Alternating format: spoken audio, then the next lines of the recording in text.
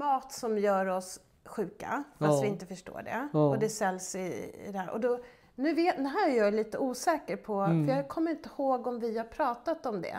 Men jag har en uppfattning, en bestämd uppfattning om att gluten inte är bra för oss, för det bildas till socker i vår kropp Mm. och skapar en låggradig inflammation. Ja. Vad säger du om det? Ja, alltså den här ökade halten gluten i vår säd, den beror ju på att vi äter inte längre den säd vi en gång utvecklades Mm. med. Va? Mm. Utan vad som hände var ju på, det var väl på 40 och 50-talet så fanns det en man som hette Borlag. Som uppfann det här moderna vetet med korta strån Mm. och, och mycket kraftiga ax. Det så kallade borlagvetet och han, det var ju mycket mer produktivt eh, än vad det, gamla vetet. Gamla vetet var långa strån. Så när det regnade så la de sig ner och så ruttnade det. Så man hade lägre produktivitet. Så fick man bolagvetet med hög produktivitet.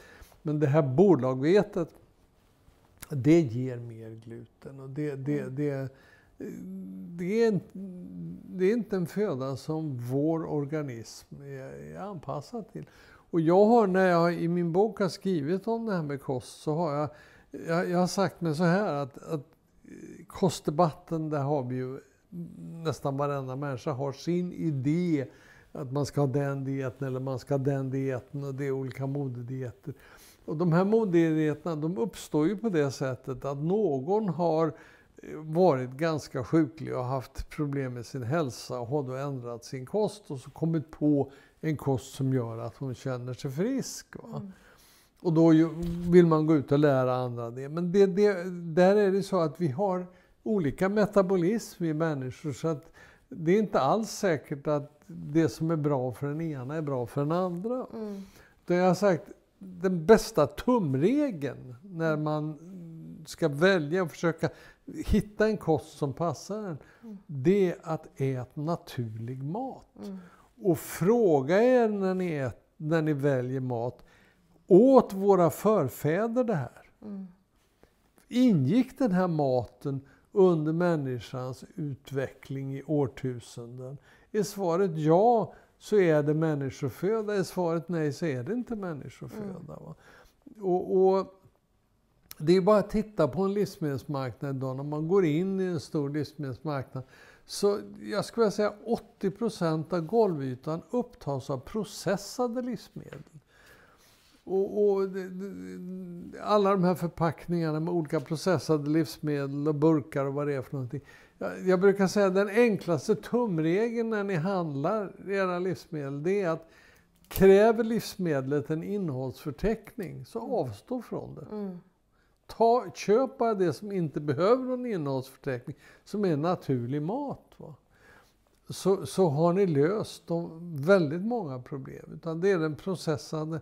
Och, och det, det kusliga är ju nu, nu, nu ser vi nu de här stora ekonomiska intressena som dominerar, precis som läkemedelsindustrin, domineras livsmedelsindustrin av ett antal jätteföretag.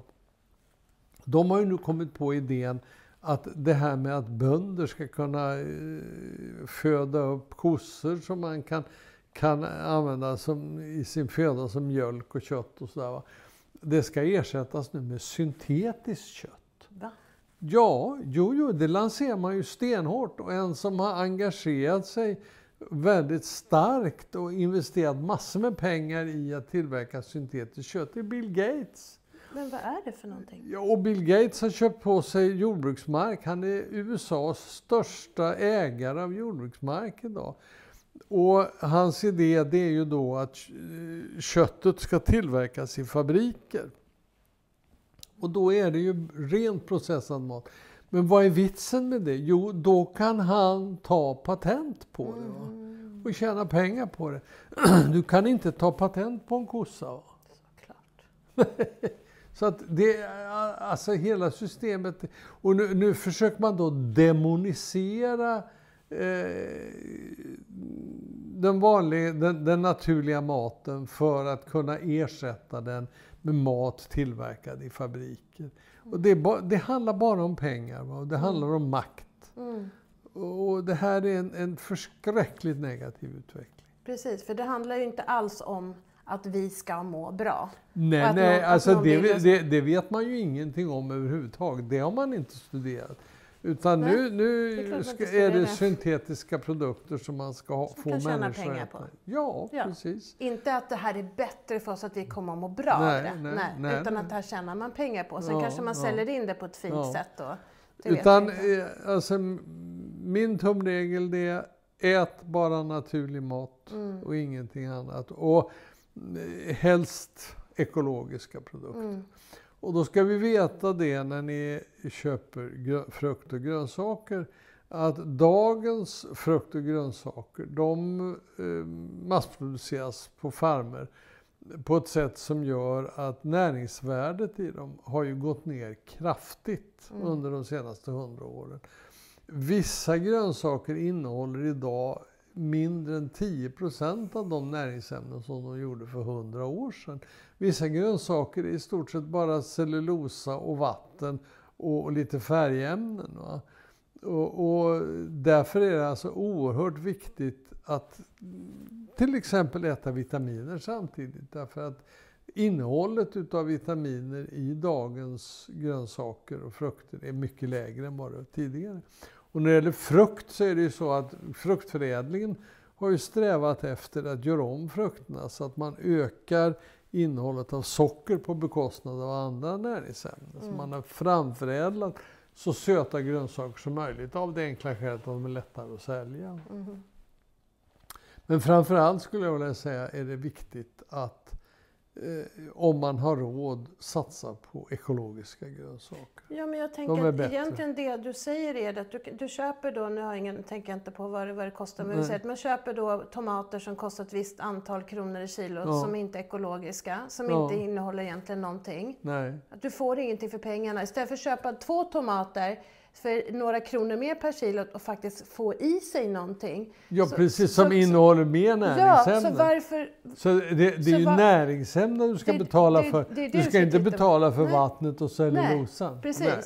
Och det är det Mm. här som man behöver folk först- förstå. Dessutom möts jag ofta med argument, ja men hur vet jag att det är ekologiskt? De kanske bara luras. Ja, Och då brukar jag tänka, ja det tänkte du inte på när du tog sprutan eller någonting, att det var något lurt med. Liksom. Utan, men, men tomaterna, det kan det vara något lurigt med. jaha, Ja, och det ska Jo, jo. Jo, absolut. men ja, jag vet inte. Jo, men, nej, men det, alltså, det finns ju även en propaganda mot det ekologiska Mm. därför att det massproducerade livsmedel från livsmedelsindustrin de är ju inte ekologiska. Mm. För det, det är inte, de får mer, lägre produktivitet om de ska göra ekologiska. För de säljer ju kilo, de säljer ju inte näringsämnen. Utan Nej. de säljer kilo. Och då är det cellulosavatten Ja, de säljer. Vilken bra affär. Som bara går rakt igenom. Ja, precis.